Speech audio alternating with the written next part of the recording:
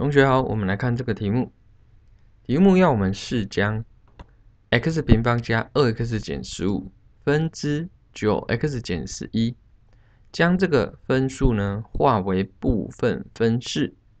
好，我们看到这个题目，我们要先假设，我们先设这个原式呢，啊，会等于 x 减三分之 a 加上 x 加五分之 b。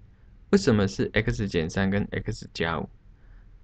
原式它是被合并，啊，合并起来的。我们把它分母可以做十字交乘，可以拆成 x 减三跟 x 加五。那这两个分母通分呢，就会等于原式。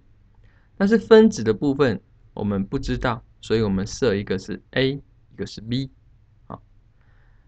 我们假设完呢，我们再把这个原式的部分的分母消掉，所以我们同乘以 x 减三乘上 x 加五，那这样原式的部分就会只剩分子，分母就消掉。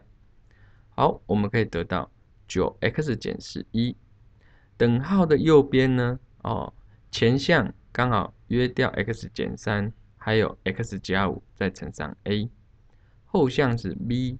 乘上 x 减三，好，我们可以得到九 x 减十一等于 a 乘上括号 x 加五加上 b 乘上括号 x 减三。我们把其中一项想办法变成零，就可以解出一个未知数。所以，我们 x 带三，主要就是消掉 b，我们就可以先求出 a。好。把三带进去之后，可以得到二十七减十一等于八 a。好，前面是十六，后面是八 a，所以 a 等于二。那我们要求 b 的部分，x 就带多少？带负五。好，负五带进去可以得到负四十五减掉十一等于 b 乘上负八。那我们可以求出来 b 等于七。